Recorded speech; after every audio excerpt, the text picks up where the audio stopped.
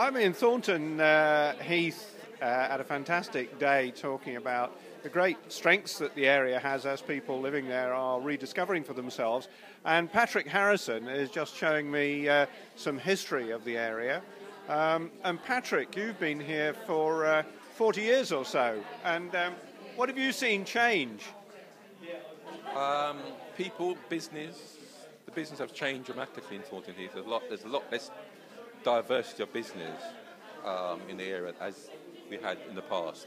And that has a dramatic effect on employment um, and so forth. So that's one of the dramatic changes in, in the area that um, we're, we're, no longer having employment locally. And that's a, a, great, uh, a great shame. And you've been involved, uh, I think, in the project which has been going on over the last few months here. What's your part been in that?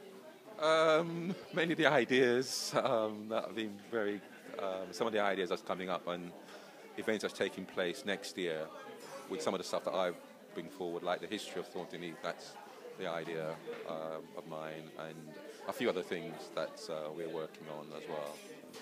We've been focusing a lot on how to help people make better connections in the area and perhaps recapture some of the connections that they had.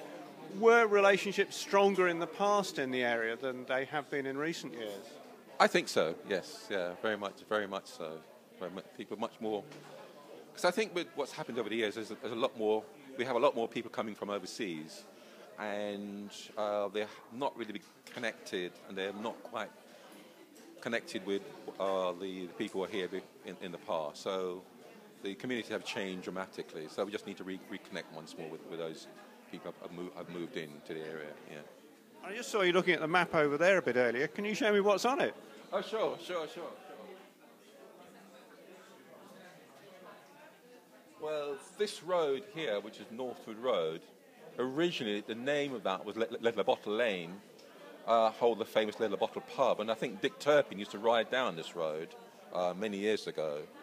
And up Spa Hill was actually called the Great Northwoods rather than Spa Hill. So that's really quite an interesting thing. Um, and this roundabout is an interesting roundabout because I believe it's the only roundabout that you can go around it both ways. That's very interesting. And I think the dots on here are about uh, where people live and where they're willing to get involved.